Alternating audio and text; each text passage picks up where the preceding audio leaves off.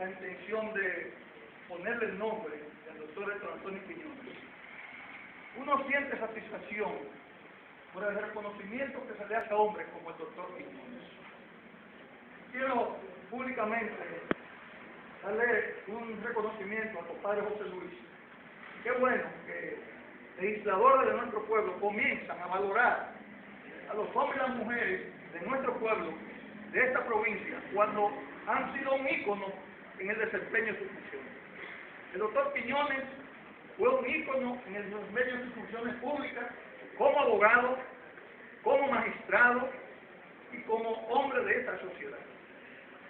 Pienso que esa iniciativa debe ser no solamente apoyada y robustecida por esta sociedad, sino que se le debe dar un reconocimiento a la Cámara de Diputados cuando hagan este anteproyecto de ley, lo convierten en ley, pero que no solamente se quede en la Cámara de Diputados, sino que los senadores también tengan la oportunidad de ese reconocimiento y que apliquen lo que establece eh, el procedimiento, que ellos también valoren el reconocimiento que se le está haciendo al doctor Quiñones. Yo pienso que no tendría palabra para eh, decir la grandeza de este hombre que se dedicó al ejercicio del derecho, pero más para juzgar, no para el ejercicio del derecho, quizás para eh, hacerse rico, para estar con una parte, sino para administrar la justicia, porque no todos los días aparecen ciudadanos en los pueblos capaces de dedicar el resto de su vida a aplicar la justicia correctamente. Le damos las gracias por la oportunidad que nos dan a la Cámara de Diputados, a la Comisión de Justicia, a este pueblo y a ustedes los profesionales del derecho que tuvimos la oportunidad de conocer al doctor Quiñones. Nosotros le damos un apoyo incondicional a esa iniciativa y esperamos que todos los diputados estén suficientemente motivados para que eh, reconozcan y el día que se ponga en, en agenda, pues que sea aprobado en la primera lectura. Muchas gracias. A nombre del Colegio Dominicano de Periodistas y el Sindicato de Abogados de la Prensa, que ya llegó un poco tarde, nosotros queremos felicitar esta iniciativa de nuestro diputado, nosotros no vamos a felicitar los diputados que trabajan, porque este, aunque están aquí en el escenario, pero a veces nunca hemos tenido como una buena trayectoria de resalte un trabajo de, en los diputados que hemos tenido. José Luis que ha llegado, yo he visto que ha sido muy dinámico, muy atento, ha sometido varios proyectos de ley que son importantísimos en el.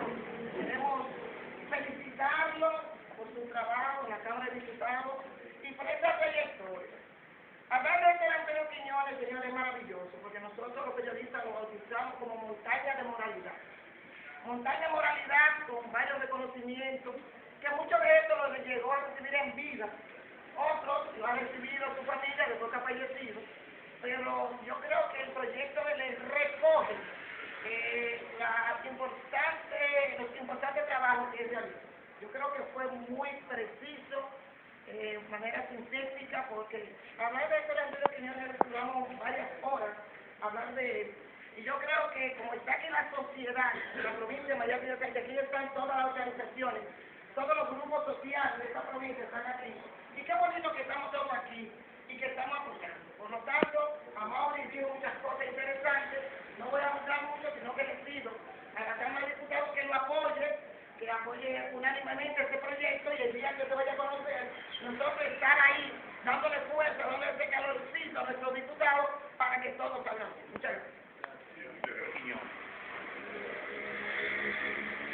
Cuando era un niño, conjuntamente con Julio Simón Lavandier, quizás, y sin él quizás, fuimos los pocos menores de edad que pudimos presenciar audiencias con Néstor Quiñones.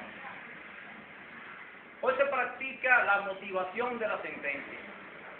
Todo el que estuvo presente en una audiencia de Héctor Quiñones conoció las motivaciones en voces, tanto a cargo y a descargo que daba en el Estado. Soy abogado de segunda generación. Tuve la oportunidad de postular ante él. Y fui alumno de su esposa, que está presente acá. Como hombre fue un hombre normal como todo ser humano. Cualquier error que pudo tener en la vida quedó borrado cuando se colocaba la toga y estaba en el estrado. Lo dijo el colega hoy diputado, que nos conocimos litigando, que tuvo la oportunidad de litigar frente a Héctor Quiñones y conoce el valor de Héctor Quiñones en lo laboral, en lo civil y en lo penal. Está aquí el doctor Caunabo, compañero de generación del doctor Quiñones. Aquí pudiéramos hablar, escribir una enciclopedia sobre Héctor Quiñones. Pero sobre estas cuatro paredes siempre estará la voz ronca de don Héctor Quiñones en evacuación de sentencia, a cargo y a descargo. Fue capaz de presionar la ley y nunca romperla. ¿Qué es lo que debemos entender? Lo que hoy en día se quiere practicar, ya don Héctor Quiñones lo hacía en voz en estrado. Le repito, materia laboral, civil y penal, sobre los hombros de un solo hombre. Y quiero decirle a los diputados y a la diputada espero que este no sea el único palacio que tenga el nombre de un juez de la comunidad. Que ustedes motiven en sus diversas comunidades elegir todos los palacios, comenzando por el juzgado de paz, que tenemos nosotros que darle reconocimiento a los abogados y a aquellos que se atrevieron a ser jueces en esa época y ahora. Ustedes, señores diputados y senadores, tienen en su mano la mejor carta para comenzar a hacer la libertad y como dijo nuestro querido colega, comienza la puerta de la democracia y la independencia en la Cámara de Diputados. Gracias.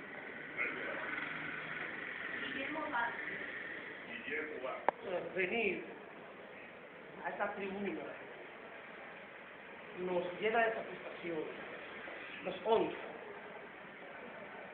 Y qué bien en este momento donde nuestra sociedad se disuelve en presencia de los antivalores, tanto en la familia como en lo profesional, se esté recreando, preparando el ambiente para decirle a los profesionales, a los jóvenes, a la familia, que lo ético, que lo moral, que lo justo, que lo correcto se reconoce.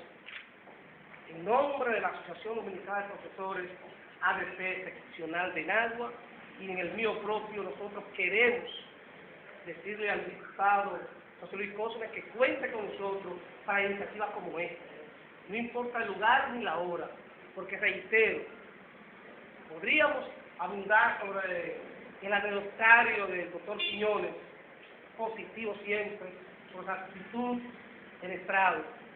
Pero lo más importante, y créanlo, se lo dice un maestro, se lo dice un, la, un hombre que ha dedicado su vida a la lucha social, y que eh, lo conoce lo que estamos aquí, que a la juventud y a nosotros nos esté mandando un mensaje en este momento. Reitero con vehemencia que lo ético, lo moral, lo correcto, como decíamos nosotros, el juez que hizo justicia con equidad, que los abogados han de justicia con equidad, se esté reconociendo. Gracias y que este proyecto se convierta pronto. Muchas gracias. A esta linda Comisión de Justicia de la Cámara de Diputados, buenos días a todas las entidades representativas de esta provincia, María Sánchez. Muy buenos días a todos los familiares, específicamente a la esposa Doña Sol y a su hijo Héctor Antonio Quiñones. Le hablo en primer lugar en nombre del Colegio Dominicano de Notarios, filial provincia María Sánchez, y en segundo lugar, como descendiente directo de la familia Quiñones y como sobrino de mi tío Héctor Antonio Quiñones Martínez. Quizás no sea yo la persona con la calidad suficiente para librar de emociones y decir algunas de las cualidades de mi tío. Esta iniciativa la felicitamos, la adoramos y la abrazamos, hecha por el diputado de Luis Cosme de esta provincia. Y decimos que nuestro tío, graduado en la Universidad de Santo Domingo en el año 1953, desde esta época hasta su fallecimiento, fue un servidor nato, un servidor conspicuo de esta provincia. Las motivaciones del anteproyecto de ley recogen parte, porque definitivamente, siendo funcionario judicial por más de 40 años ininterrumpidos, en los últimos 30 años de su vida y de su ejercicio profesional, ocupó el juzgado de primera instancia, que en aquellos tiempos era era un juzgado de plenitud de jurisdicción. Imagínense el trabajo que tenía que hacer un hombre, un verdadero juez, para trabajar con lo penal, lo civil, lo laboral, lo administrativo, lo de niños, niñas y adolescentes, etc. Pero su mayor enigma reposaba en su convicción que la ley en este momento no permitía. Y cuando tenía que tomar una decisión, recuerdo que en el día de su fallecimiento se notó y se dijo que frente a esta sagrada iglesia, la Altagracia, iba y se arrodillaba ante el Dios Todopoderoso, para que sea Dios el que lo iluminara a tomar la decisión correcta. Eso nos obligaba a nosotros como familiares seguir la línea rectilínea de la honestidad, la ética y la seriedad en la vida pública y privada. Quien les habla es abogado graduado del año 1987. Y tengo para decirles que cuando yo venía a postular al tribunal en agua, no obstante el derecho no impedírmelo, mi tío se inhibía y no conocía la audiencia donde yo vivía como abogado. Eso es solamente para decirlo. Y sobre todas las cosas, además de juez, reconocido como han dicho todos los que me han antecedido, obtuvo mucho premio, mucho reconocimiento, inclusive el Congreso Nacional,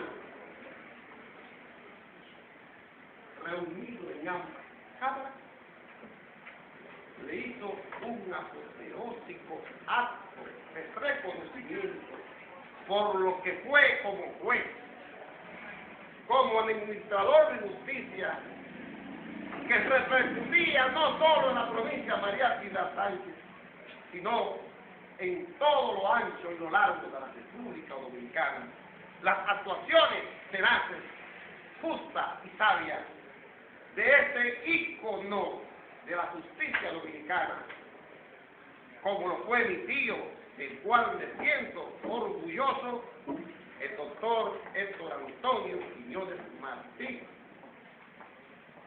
Y pido a nombre de la familia y el mío propio y de toda la sociedad de esta provincia, que esta iniciativa termine felizmente convirtiéndose este proyecto en la ley para darle a la provincia de la Antiguo el nombre, con mucho honor que lo merece, este titán del derecho en la República Dominicana. Muchas gracias.